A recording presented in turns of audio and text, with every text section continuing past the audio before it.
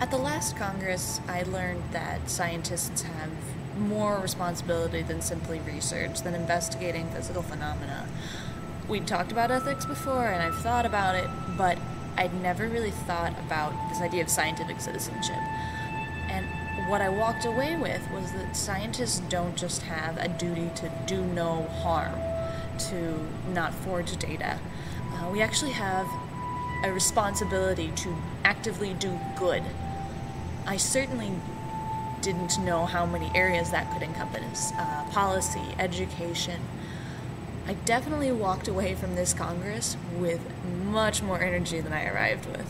My first Congress experience was in 2004 in Albuquerque. I took one student and went down and came back saying that was the most amazing physics conference I've ever been to. The talks were excellent and at a great level. The workshops were uh, productive and interesting and I said, we are taking a busload of people to the next Congress. So we did. In 2008, we took 25 students and three faculty members and contracted with the local church, and they drove us in their school bus. And uh, we drove back all night coming back, uh, and it was much cheaper than hiring a professional company. And um, we had a great time, and we've got 33 students signed up to go to Orlando, and we're very excited about that. We are having to fly uh, because of the distance, but um, we're saving a little money by taking the church bus to and from the airport here and looking for a local church in Orlando to take us to and from the airport there. We got a great donation from KeyW Corporation where one of our students interned this summer. Uh, he just asked and they said awesome. And um, have gotten money from a college research fund and we solicited alumni for donations. So we've patched together funds from a lot of different sources to try to keep the cost down for students.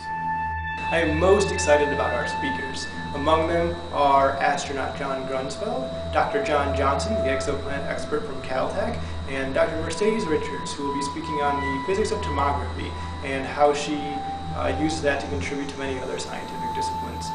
And on Thursday, we will be going to the Kennedy Space Center and we get to be led around by one of the Space Center staff and see the museum and the launch pad and many other cool buildings that they have there. There also is going to be a breakfast with the scientists where we just sit down with our speakers, we get to chat, eat breakfast, it should be a lot of fun. Uh, there will also be graduate schools and companies there who will be interested in talking to you, the students, and uh, they want to know, you know, what are you going to be doing in the future? You know, they want to talk about jobs or internships could be a good thing.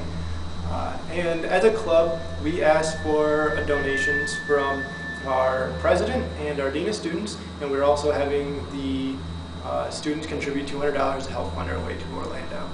Um, there should be about 800 people there, that's what we're expecting, so I cannot wait to meet all the other physics students there, and it should be a lot of fun. Hope we get to see you there too.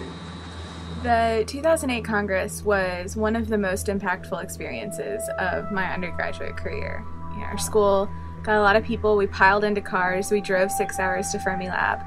And it was really incredible to see all those physics majors in one place. And one of the best parts was being able to go to the workshops. Um, you know, as a physics major, sometimes it feels like your job is to go to lectures, to do your problem sets, and that's kind of what physics is. And the workshops were completely different. We would go to a small talk, and then we would break into groups and really talk about issues that were popular and controversial in physics. And it was very inspiring to be able to talk with other physics majors and feel their passion for physics and learn from them and really feel like you're contributing to the physics community.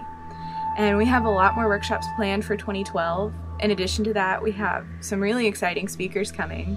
Where else are you going to get to hear Freeman Dyson and John Mather and Jocelyn Bell Burnell and David Saltzberg all talking in one place?